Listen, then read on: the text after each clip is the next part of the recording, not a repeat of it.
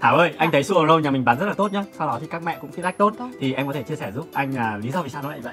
Dạ vâng, Ờ, thì ờ, hiện thì em đang bán sugar roll và em cảm thấy các mẹ ờ, feedback rất là tốt và các bé khi mà sử dụng cho bạn đấy thì là ngay lần đầu tiên các bạn ấy đã hợp tác rồi bởi vì vị sữa rất là dễ uống, thanh nhạt giống sữa mẹ. Thứ hai là ờ, khi mà các bạn ấy uống ấy, cái độ tăng milk của các bạn ấy cũng rất là nhiều hơn so với các hàng khác. Đi phân cũng rất là đẹp, không có gần như là chưa có một cái trường hợp nào mà xảy ra tình trạng táo bón hay tiêu chảy khi sử dụng sugar roll. Nên là ờ, khi mà bán sugar roll nhà em cũng rất là tự tin và các bạn ấy cũng ờ, khi mà các bạn sử dụng các bạn ấy mua rất là nhiều. À, cho anh hỏi là em tìm Vâng. hiểu thấy cái thành phần của sugar đó nó có gì khác biệt không em? Dạ vâng, khi mà em tìm hiểu Sugar Roll ấy thì em rất là tự tin bán bởi vì khi mà Sugar Roll em thấy rất là nhiều điểm nổi bật. Ví dụ như là trong Sugar Roll nó có một cái thành phần là HMM ờ, là, là phân lập từ mẹ.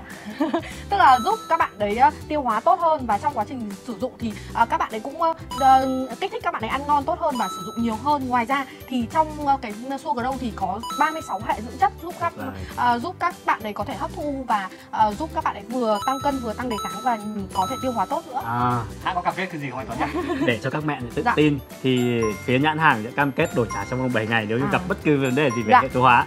Thế nếu mà đã được như thế thì bọn em sẽ rất là tự tin để bán Sugar Roll và em tin rằng là về sau thì Sugar Roll sẽ càng được các mẹ đón nhận nhiều hơn nữa. Tuyệt Vì- vời. Các mẹ mà muốn mua sugar đâu thì qua địa chỉ đâu em nhỉ? À, khi mà mọi người mẹ các mẹ muốn tìm uh, Sugar Roll chính hãng thì mọi người có thể đến với shop bé Kin ở ngay quốc lộ 18 Giang Liễu để uh, mua được sản phẩm Sugar Roll chính hãng nhá. Tuyệt vời. Sugar Roll chắc chắn tăng cân.